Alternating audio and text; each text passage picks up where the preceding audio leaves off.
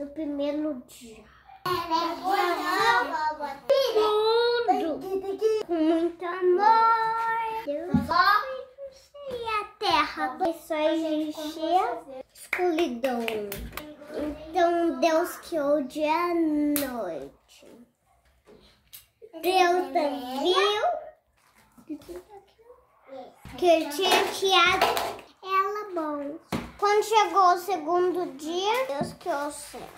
Deus separou, Deus separou das águas. E viu que isso também era bom.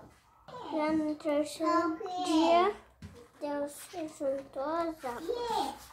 Em um lugar que é o chão seco. Deus chamou de terra. E as águas, e as águas ele chamou de mar. Terra. Deus criou as árvores.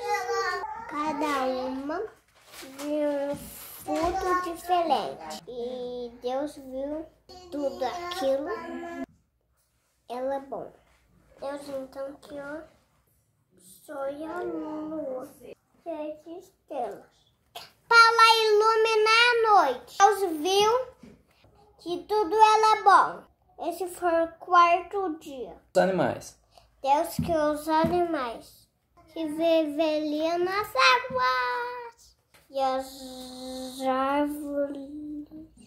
Aves. Aves. Aves que voam ali.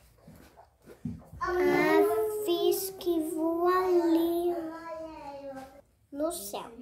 Cada um de espécie. Ela quer assim todos seres vivos multiplicação. E Deus ouviu que tudo aquilo era bom. Esse foi em quinto dia. No sexto dia, que os animais, esse é Adão e Eva, que viveriam na terra. A Eva tem cabelão, hein? Cadê? A Eva tá. A Eva tem Cada cabelão. Um. Deus viu que tudo era bom. Então Deus disse. Eu, eu tô contando aqui. Está na aula que fazer o homem e a mulher. Eles vão se multiplicar e não reinar sobre tudo isso daqui existe terra. Isso é o leão, papai. Uhum. E Deus viu que era tudo era muito bom.